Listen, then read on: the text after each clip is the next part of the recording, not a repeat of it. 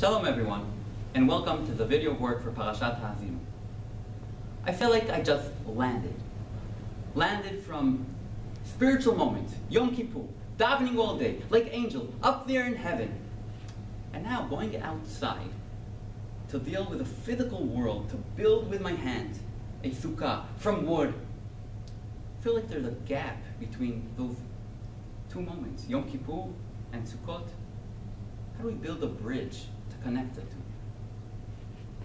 Maybe a possible answer could be found in the first pasuk of our parasha. Ha'azinu ha'shamayim va'adavera v'tishma ha'aretz imrei fi. The simple explanation is Moshe is addressing Am Yisrael and is asking heaven and earth to be his witnesses. That's a Kotzker Rebbe. Ha'azinu ha'shamayim va'adavera. It's a special message. How to live life. To develop ozen shel shamayim, a spiritual ear.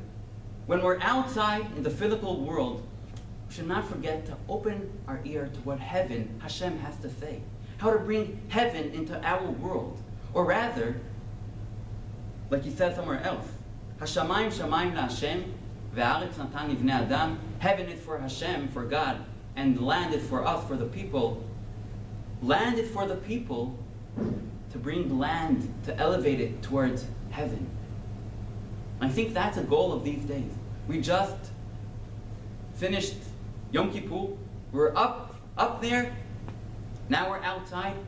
When we're outside, where we're supposed to be, that's a mundane life. To be outside, to build, to develop, we need to have a ozen shel shamayim, to hear Hashem's words being when we're outside, and to bring earth towards heaven.